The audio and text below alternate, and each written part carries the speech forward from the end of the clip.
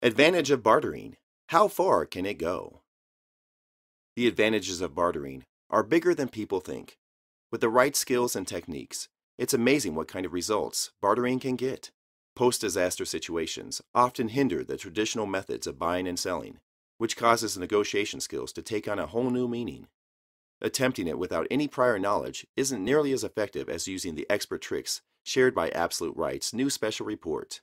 Bartering with Desperate People Bartering and Negotiating in Post Disaster Survival Situations is a digitally downloaded guidebook for developing the skills needed to successfully trade survival supplies.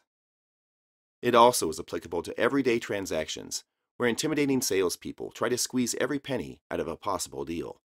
With the special report, people will confidently approach any negotiation and know how to get what they want out of it. The time old tradition of trading goods or services for essentials has picked up in recent years. Greece, whose economic struggles are no secret, is seeing several barter economies establishing themselves in cities to replace the traditional euro monetary system. Bartering even took one man from Berlin to Antarctica with only a penny in his pocket to begin with. Michael Wigge left Berlin without a penny and traveled 25,000 miles to Antarctica, hitchhiking, bartering, and working his way by ship, plane, car, and foot, from Europe to Canada and the U.S., and then through Latin America, said a Fox News piece. A series about his project, How to Travel the World for Free, is airing on some PBS channels through May and June, using video Wigge shot of his adventures.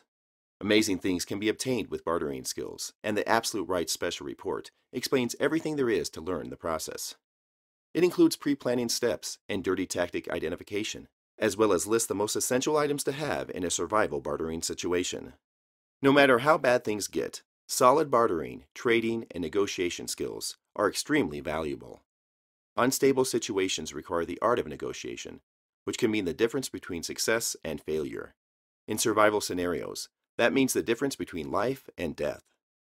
Don't get caught unprepared without any way to acquire the necessary food, water, and supplies to stay alive.